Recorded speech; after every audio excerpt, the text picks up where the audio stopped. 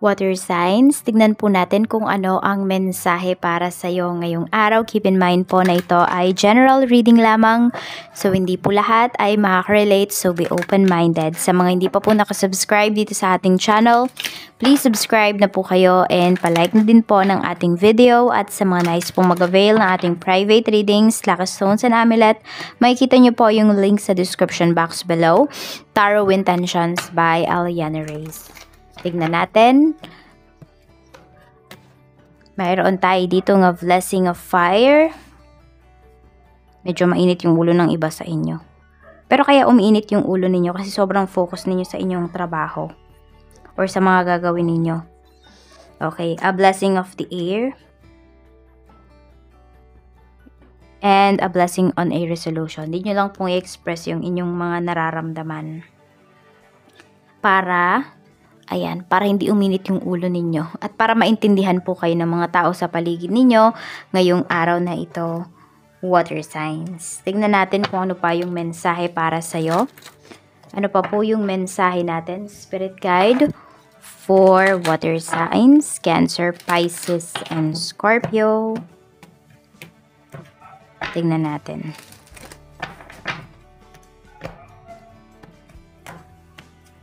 We have opulence. It's time to lead.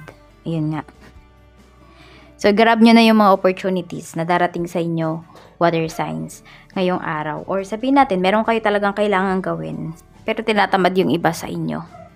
Parang nawala kayo sa mood. Okay, relax your energy, and then, gawin nyo pa rin po para hindi kayo marash at hindi kayo matambakan ng gawain.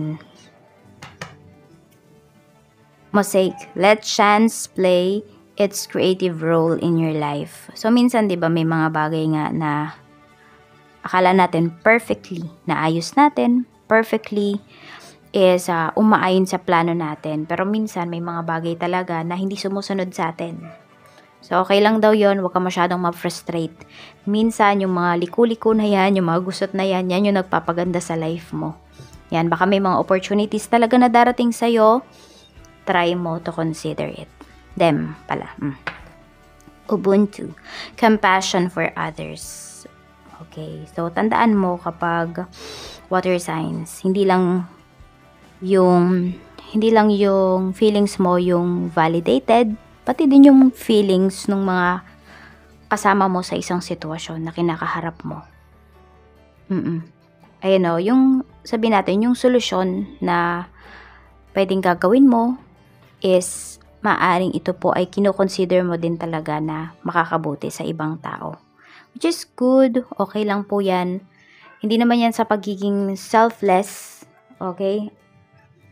Oo, yung sabi natin yung lagi mong iniisip yung mararamdaman ng ibang tao. Kasi pwedeng magbe-benefit ka rin eh. Lalo na kung yung mga decision mo na to is, kunwari, ang maapektuhan yung mga kasama mo sa bahay. So, kung stress sila, di ba? Kahit ikaw hindi ka stress, may stress ka din. Kasi sila yung kasamaan mo sa bahay, na-absorb mo yung kanilang energy.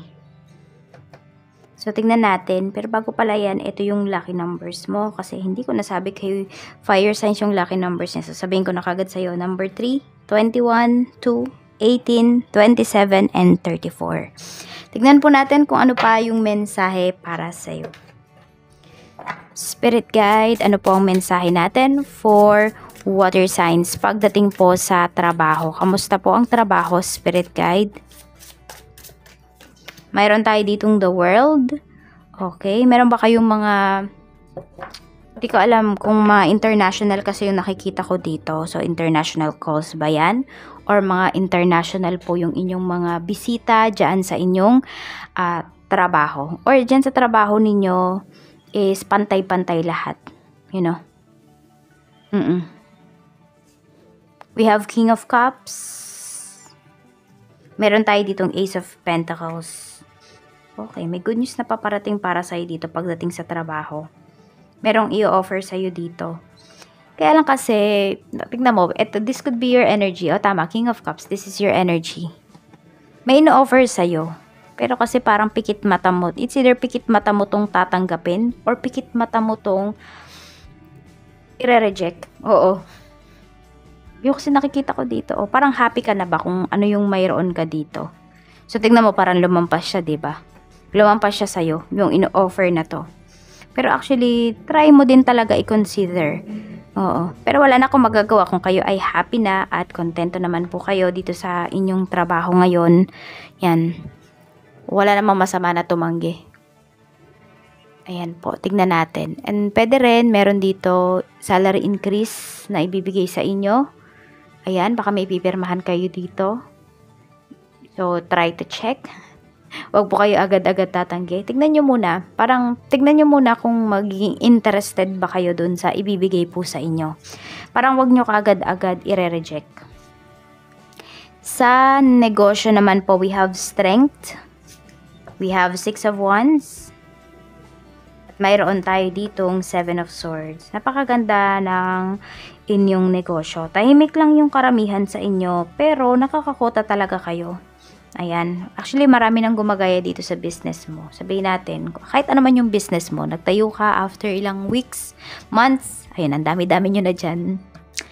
Parang ano lang talaga, matira matibay na lang talaga dito sa inyong trabaho, ah, dito sa inyong negosyo. Pero ayan o, oh, marami po sa inyo dito. Ayan o, oh, six of wands kasi yung energy natin. So, kilala talaga yung inyong negosyo. O kaya dyan talaga kayo nakilala sa product ninyo. Kaya binabalik-balikan po talaga kayo. Meron din ako nakikita dito nag spy sa inyo na competitor. Kaya medyo mag-iingat po kayo. Yan. Pero lahat naman i-entertain ninyo. Pero syempre, nandun pa rin yung dapat um, maingat talaga kayo sa mga sinasabi ninyo sa inyong mga kliyente.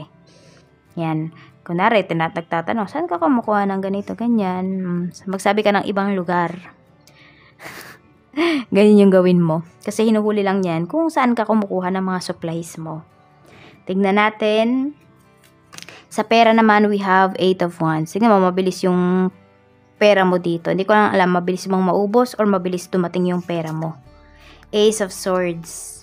Kapag may naisip ka talaga, water signs, ano mo yan, parang bigyan mo kaagad ng action kasi pwedeng kumita ka, mabilis yung pera. The Star. Okay. So, ayan, meron ba kayong wini-wish, hinihintay regarding sa money, regarding sa isang property na mabenta? Meron din ako nakikita dito, nagbebenta ng sapatos. Ayan po, so mabilis talaga yung pera para sa inyo. Meron ako nakikita na, ayan, kung ano man yung mga mabenta ninyo, pwede magta-travel kayo. So, ayan po. Huwag kayong mag-alala, mabebenta nyo naman talaga yan. And magagawa po ninyo yung gusto ninyo. After. Mm. Yun lang. Basta ano, kailangan mag-take kayo ng actions dito kung ano yung mga naiisip po ninyo kasi pasado talaga siya. Water signs. I mean, kikita talaga kayo. Check natin sa love life mo. Pero hindi mo na pala yan. Okay. Pero ayun na, may lumabas na, 'di ba? Sa mga single yan eh, I like you. Yan, meron nagkakagusto sa'yo. Sa mga single to. Pero, kasi pwedeng coldness yung pinapakita mo sa taong to pinapakita mo talaga na hindi ka interested sa kanya. Or yung iba naman po sa inyo, sabi natin, you entertain that person. Pero water sign, sinasabi mo kagad sa kanya na you're not yet ready na pumasok sa isang serious relationship. So parang nandun na din sa taong yun kung tatanggapin ba niya yung kaya mong i-offer sa kanya or hindi. We have naman Queen of Pentacles para naman sa mga magkarelasyon. Sa mga magkarelasyon naman po is sabay inyong inaabot ng person mo yung mga pangarap ninyo. Nakikita ko na supported ka talaga niya. Ayan, mas nag-grow pa. Hindi lang yung pera ninyo, mas nag-grow rin po yung confidence and yung you know, yung pagmamahalan ninyo dito. Mm-mm, mas nagiging secure siya. So parang everyday, siguro yan yung pinaparamdam sa'yo ng person mo. Na walang iba, ikaw lang. Tingnan mo, nakapikit lang siya dito. Kasi happy yung person mo sa'yo, water signs eh. Diba? Kung ano yung kaya mong ibigay sa kanya, happy siya. Hindi siya mapaghanap. Sa mga mag-asawa naman po, we have Page of Pentacles. Ayan. Sa mga mag-asawa naman, pwedeng meron kayong mga pinaplano dito ng asawa mo. Ayan, yung iba naman sa inyo, uh, parang may tinatry kayo na mga adventures, you know. Meron dito parang bumabalik kayo sa pagkabata, ganun. Ano, bumabalik kayo sa umpisa. Parang nire-revive. Meron dito ha, nire-revive ninyo yung inyong, uh, yung inyong pagsasama, yung magandang pagsasama po ninyo. Mm-mm. Tapos, parang kung ano man yung mga nagugustuhan ng asawa mo, suportado ka lang talaga dito. I mean, nagsusuporta ka, sumusuporta ka talaga sa kanya. Water signs, hindi mo hinahadlangan yung mga, sabi natin, yung mga growth ng person mo, yung growth ng person mo, yung mga gusto niya mangyari. At ganun ka rin naman sa kanya, ganun din siya sa'yo. So, balance kayo dito.